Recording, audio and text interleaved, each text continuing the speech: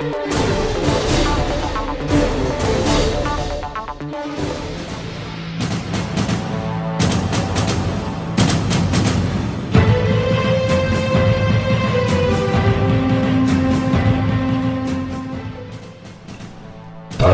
Hasanović, star 21 godinu, teško je ranjen 14. septembra na parkingu jednog hotela u naselju Novopazarska banja u Novom pazaru.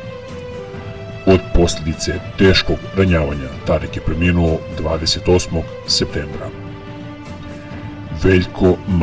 i Tarik Hasanović radili su zajedno u hotelu i između njih dvojice došlo je do sukoba oko bakšiša. Tog kobnog dana njih dvojica posvađali su se i oko devojke i došlo je do verbalnih pretnji. Pretnje su nastavljene i preko poruka. Veljko je poslao i sliku pištolja i poslao je poruku Tariku da se nađu ispred hotela. Sukob oko bakšiša i oko devojke doveo je do žestoke svađe ispred hotela.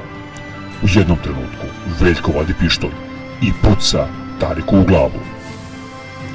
Na lice mesta vrlo brzo stigla je policija i hitna pomoć koja je teško ranjenog Tarika prevezla u bolnicu u Novom pazaru.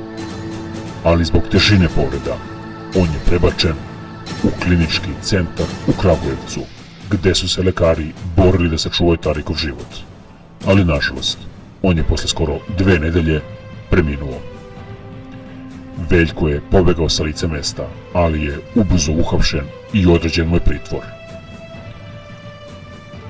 Policija je po nalogu nadležnog tužilaštva protiv njegovog 50-godišnjeg oca podnela krivičnu prijavu zbog sumnje da je izvršio krivično delo izazivanja opšte opasnosti.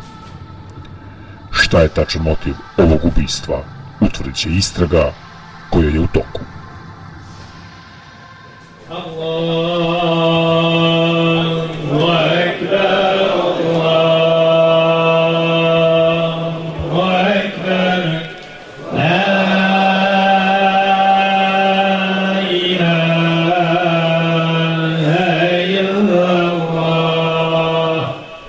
الله